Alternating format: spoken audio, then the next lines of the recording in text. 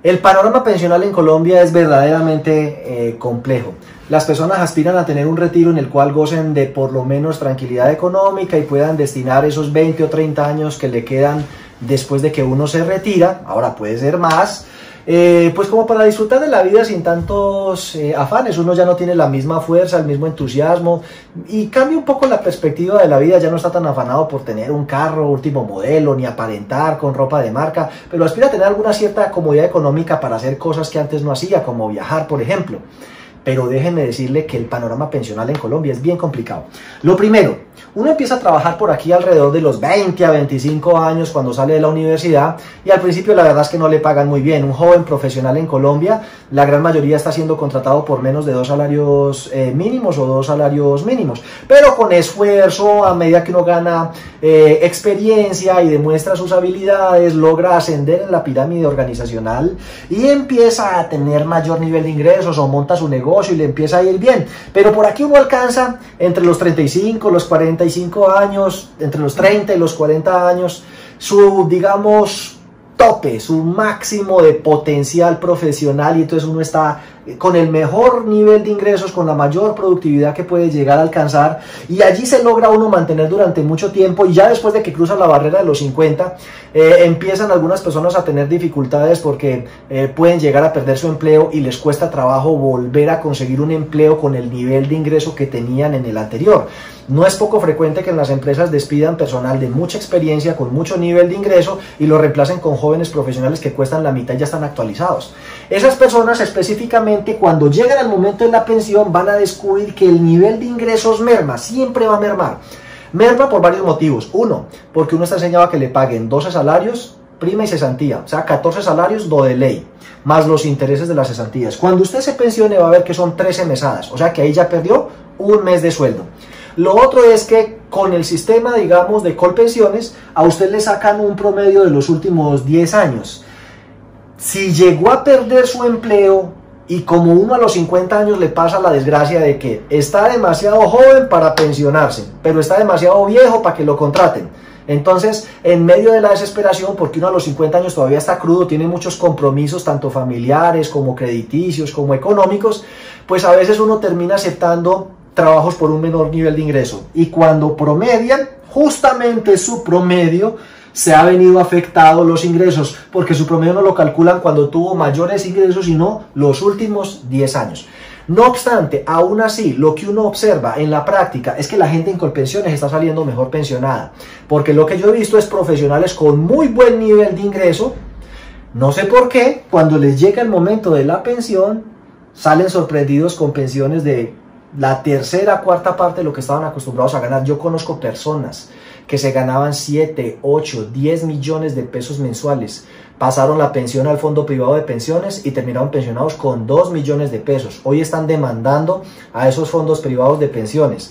Tristemente, de lo que se habla en Colombia es de que ese sistema de prima media eh, debería modificarse eh, para hacerlo un poco, digamos, más equitativo y eso traducido al español significa es que muchas más personas reciban pensión, lo cual me parece bueno, pero con niveles de ingreso más bajos. Así que eh, para las generaciones de trabajadores actuales más jóvenes, eh, es muy importante que tengan presente, y cuando hablo de jóvenes menores de 45 años, que no solo es incierto la edad a la que se va a pensionar, sino que seguramente esas pensiones van a ser bastante inferiores a lo que usted cree que gana o que debería ganar y bastante cercanas al salario mínimo. De ahí la importancia entonces de que uno se programe y diga, por aquí tengo mi máximo endeudamiento porque tengo mi máxima eh, capacidad económica, pero ese máximo endeudamiento lo utilicé para adquirir bienes ojalá productivos, patrimonio, y me programé a partir de cierta edad para decir, no, listo, ya no me comprometo en más cosas, cosa que cuando llegue aquí a los 62 años,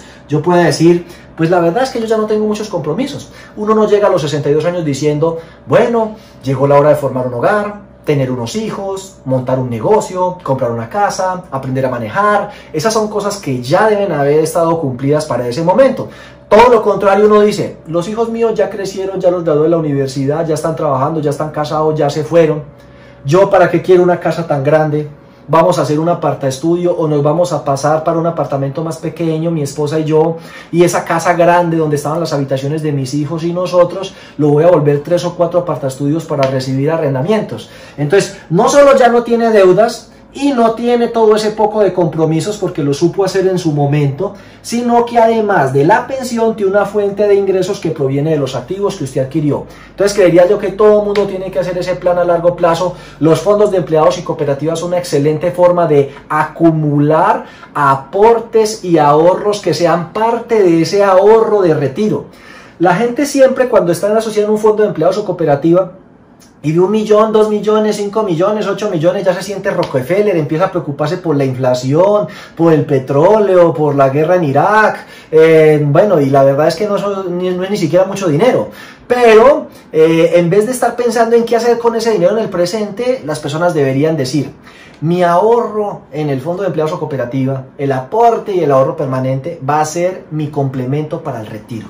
Así que si Dios quiere, cuando yo llegue a los 60, 62 años, debo llevar ya 30 o 40 años asociado a la cooperativa y para ese entonces tendré 50, 60, 70 millones de aportes y ahorros allí acumulados y con eso puedo entonces acomodarme a una nueva situación, terminar de pagar las deudas o coger ese dinero y hacer ese viaje que usted siempre ha querido o simplemente que le sirva como amortiguador para ir acomodando su nuevo estilo de vida a esa nueva realidad económica y nivel de ingresos. Pero si usted puede y en su cooperativa o fondo de empleados está la posibilidad de ahorrar, todo el mundo debería constituir un ahorro allí. Regularmente las cooperativas y los fondos de empleados pagan mejores tasas en los ahorros programados y en los CDATs que lo que se encuentra en el sistema financiero. De hecho, ahorita los fondos privados de pensiones están perdiendo dinero, así que la gente que estaba ahorrando voluntariamente para su pensión ha tenido rentabilidades negativas. Si usted ese dinero lo hubiera tenido en una cuenta de ahorro programado o en un CDAT de una cooperativa o fondo de empleados, primero no habría perdido un peso y estaría recibiendo una rentabilidad constante en el tiempo que va entre el 4 y el 7% efectivo anual. Entonces, pensaría yo que todo mundo, si tiene la oportunidad de ser asociado a una cooperativa o fondo de empleados, debería constituir ese ahorro eh, prepensional. Si no es asociado a ninguna cooperativa o fondos, de todas maneras busque una entidad financiera en la que pueda llegar a constituir ese ahorro, aunque seguramente no le van a pagar lo mismo, pero es muy importante constituir ahorro o, o constituir patrimonio. Entonces, hágase esta pregunta. ¿Qué está haciendo el sistema financiero por su futuro?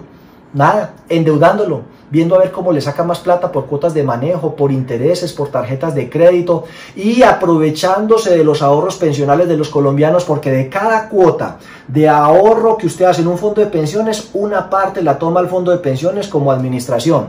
Así que la verdad es que los fondos de pensiones no pierden ningún dinero. Ellos están cobrando por derecha el valor de la comisión por administrarle la plata a usted. Cuando hay rentabilidades negativas, pues el que pierde el dinero es uno. También es cierto, y hay que ser justos, que cuando hay rentabilidades positivas, pues el mayor beneficiado es el que está ahorrando en esos fondos eh, privados de pensión. Sin embargo, no importa cuánto dinero usted acumule, seguramente se puede pensionar con un salario mínimo. Hoy en día se habla de que para pensionarse con un salario mínimo usted debería estar cercano de los 300 millones de pesos. ¿Cómo funciona todo el sistema financiero? pues casi todo grupo financiero tiene un fondo de pensiones. Entonces, pues de su bolsillo sale dinero para el fondo de pensiones. Si estamos hablando del grupo Sura, donde estaba en Colombia, es protección. Si estamos hablando del grupo Aval, es por venir. Y ellos manejan ese dinero en su entidad bancaria, Bancolombia o los cuatro bancos del grupo Aval. Y eso, entre otras cosas, les da capital de trabajo, además de las aseguradoras, para poderle prestar a usted para su vivienda, para su vehículo, para libranza, para los viajes. Y ojo que eso va a tener seguros. Usted necesita seguro de vida de deudores, seguro de la casa que compró, seguro del vehículo que compró, eh, seguro para todo. Y cada una tiene su propia aseguradora. Si se llama Bancolombia, es Sura. Si se llama Grupo Aval, eh, el Grupo Aval, ¿cuál será? Creo que es Alfa el nombre de la aseguradora. Si es de vivienda, es Seguros Bolívar. Y la plata que recogen por las primas de seguros también la manejan en el banco y eso les da más capital de trabajo para seguirle prestando a usted. Y entre otras, pues de una vez tenga su tarjeta débito, su tarjeta crédito y ahí va a pagar comisiones por el uso de la red de cajeros y las tarjetas que usted está utilizando. Ahora, ¿qué está haciendo el sector solidario por el futuro de los trabajadores colombianos? Obviamente, ayudándoles a constituir un ahorro complementario adicional, que son los aportes y los ahorros, que regularmente no le cobran cuota de manejo, ni 4 por mil, ni comisiones, y en cambio le pagan intereses y le revalorizan. Creería yo que es mucho más rentable. Uno en un banco a veces consigna 100 mil pesos y a la vuelta de un año antes le debe plata al banco. Se le ha comido todo el saldo, la cuota de manejo. Uno consigna 100 mil pesos en una cooperativa y por mal que le vaya, dentro de un año tiene los mismos 100 mil pesos. Ahora, esos recursos hacen posible crédito, que de pronto no será tan abundante ni tan fácil, pero que se lo otorgan un poco más responsable y que en todo caso no le están metiendo productos que usted no está pidiendo. De hecho, por ser asociado a la cooperativa, en ocasiones a uno le subsidian parte de los seguros, o del seguro de vida, o del seguro funerario, eh, lo que llaman el exequial, o obtiene otro tipo de beneficios, así que parte de lo que usted está pagando se lo están devolviendo durante el año en auxilios o en actividades de recreación y bienestar. Y entonces terminamos esta parte mm, donde ya vemos qué está haciendo el sistema financiero y qué está haciendo el sistema solidario, eh, dejándole a usted la pregunta de qué está haciendo usted por su futuro, porque el panorama pensional en Colombia es difícil y si su único plan, el plan A, B y C, es trabajar duro toda la vida para pensionarse, pues puede que funcione, pero esas pensiones entonces lo van a obligar a usted a ajustar muchísimo su nivel de vida y definitivamente a no tener deudas para cuando llegue ese momento. Les agradezco entonces la atención, suscríbanse al canal, denle like y compártalo con todas las personas que usted crea pueda serle de utilidad.